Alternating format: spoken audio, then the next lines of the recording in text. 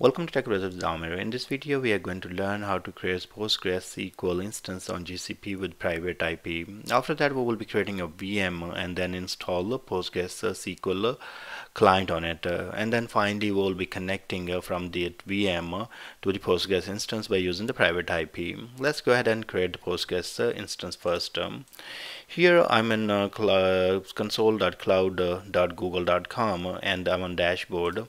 So click right here, it's called navigation menu and then you're gonna go to SQL.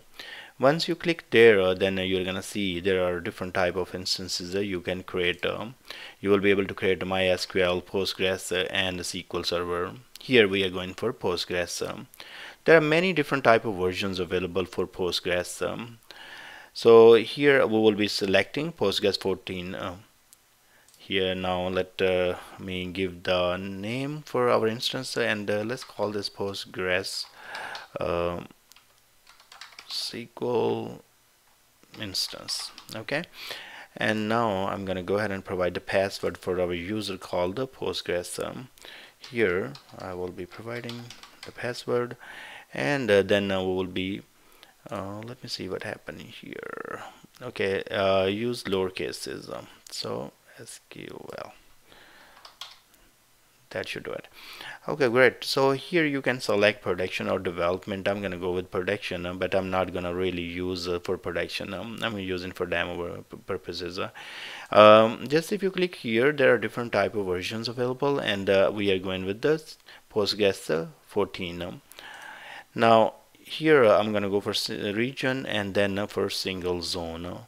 Now if I go further and uh, click on the configuration here and uh, I'm gonna go and uh, select the machine type that's a small. So I'm gonna go with custom instead of going for vCPUs and 26 GB RAM. Now I will go with the storage and SSD is fine and we will have 10 GB only. In the connection that's very very important.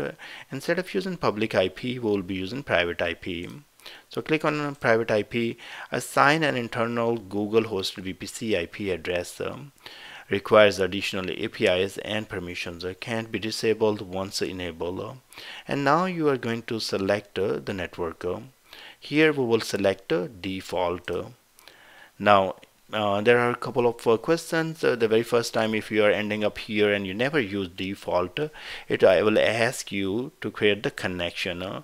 so to create the access connection it will ask you hey provide give me the list of the IP you would like to use you know you want to choose that and all that.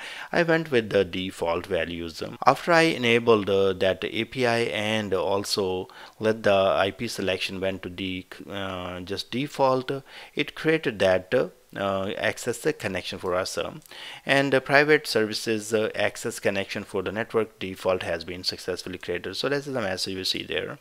Now if you want to see my uh, all those steps uh, I will mm, you know uh, attach that video to it. It was in the when I was creating SQL Server instance with the private uh, IPs. So you can learn about SQL Server as well if you want to. Now that's uh, nothing fancy really really here there you will just uh, go with the default value and you will be fine. So now next step is uh, we are gonna go ahead and uh, create an instance. Um, meanwhile our instance is uh, being created I'm gonna go ahead and create the VM and install the Postgres client. You see right there uh, as of now we are not seeing any private IP or anything like here. Uh, now it's uh, in the under process of uh, creating um, let's uh, search for VM here. Uh, and you can see that the VM instances or compute engine is there. You can also select on the navigation menu here and then go to the compute engine and then select a VM instances so here we will click on create instance and I'm gonna go with the default uh, most of the uh, items here or values uh, and uh, is coming back. And uh, the name of the instance is the instance dash one. That's fine. I don't uh, really have any concern with that. And region is the US Central one Iowa. The zone is US Central one dash A. That's fine with me. And I will be paying $25 almost per month for this VM I'm gonna go with the series E2 if you are looking for uh, some more CPU and memory for this uh, uh, VM you can go ahead and change it but uh, in my case I'm just fine with this uh, uh, configuration. Uh.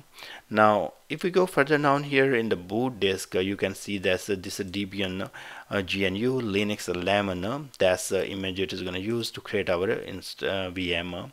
Now, I will leave everything as it is, and I'm going to go ahead and create our instance is uh, created or our VM is created right here and now if you go will scroll on the right side under the network you see default. So it's using default network. And remember when we were creating the Postgres instance we also use the default for the network. The IP internal IP is the 10.128.0.6 and external IP is this one. Now now I'm gonna go SSH to this uh, VM let's click SSH okay let's try this um, and it might ask me my username and all that. So I'm gonna select my username here and then uh, I'm gonna hit next uh, here and uh, or continue and uh, we should be all good.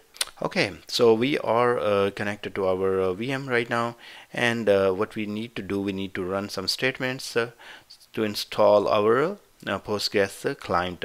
I already have that added into the document here and uh, let me find here. Okay here are uh, the couple of statements uh, or commands uh, those I need to run to install our PSQL uh, client uh, Postgres client. So first of all is sudo apt get update. So I'm gonna go ahead and run that one. And then once we are updated then we will run the next command so sudo apt get install postgres client so I'm gonna copy and just paste it there and we should be good. Now it has installed successfully. Yes I want to install. So our client is installed and uh, now let me after back. installing the Postgres client uh, what we will do we'll use this statement to connect to the Postgres database um, or instance uh, here you will say PSQL host and then provide a private IP and here is the port and then SSL mode is disabled and then what we will do we'll provide a database name is equal to postgres. Um, this is the system database created when we install the postgres uh, instance uh, and our user is postgres uh, and uh, what we are going to do uh, here is the ip i took from the our instance uh, so if i will go back to our sql instance if you guys remember that's the ip we have this private ip so that's what is there. See right there? That's the ip now after changing that IP here uh, you know what we have we are going to copy and that's the IP I play, replaced or uh, you know put it there. And now I should be good to go here and paste uh, this is command uh, hit uh, enter and it is asking us uh, for password. Um, I'm gonna provide the password now it's connected with the Postgres and uh, we can uh, do backslash L to list uh, all the databases uh. so it's not uh,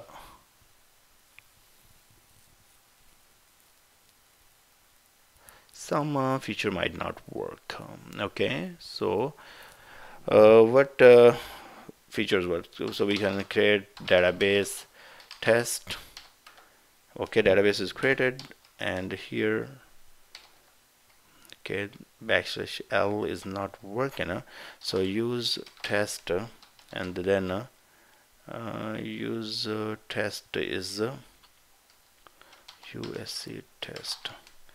So oh sorry there is no use actually. So backslash C test change database to test and then what we are doing here warning is PSQL major version 13 and server version 14 uh, some uh, PSQL might not work. Okay that's one of the thing. You are now connected to the database test as so what we can do we can create a table and a test and I can call it ID integer and uh, we should be good here. Table created insert into test values and we inserted value 100 and now I can select start from test. Okay so it is working just uh, maybe my uh, Postgres uh, SQL statements are not uh, correct some of them because I'm not really expert honestly in uh, writing uh, Postgres statements so now we should be good here and I believe if we will do backslash lt that or dt something like that that will give us all the list of the table yeah backslash dt so that will give us the the list of the tables uh. so it is working uh, just if you go back here on your uh, uh, portal and then uh, what we can do we can go to the instance and take a look if our test database has been created successfully. So we can go to the databases here and the test is right there. So we are all good. So you learn how to create you create the postgres uh, instance with the private ip then how to create the vm and then how to install uh, the client uh, by using uh, these two statements there and then uh, how to connect uh, to the Postgres instance by using the private IP and also create the database and the table and uh, select some data. I will put this this information in the description so you can use it. And thank you very much for watching. Please subscribe my channel and I will see you guys in the next video